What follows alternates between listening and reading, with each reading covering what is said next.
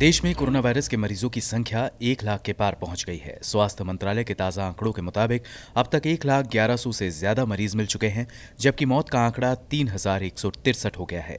बीते 24 घंटे में 4,970 नए मामले आए और 134 मौतें हुईं। लॉकडाउन लागू होने के बावजूद जितनी तेज़ी से कोरोना वायरस के मरीजों की तादाद बढ़ रही है उससे केंद्र और राज्य सरकारों की चिंता बढ़ती जा रही है।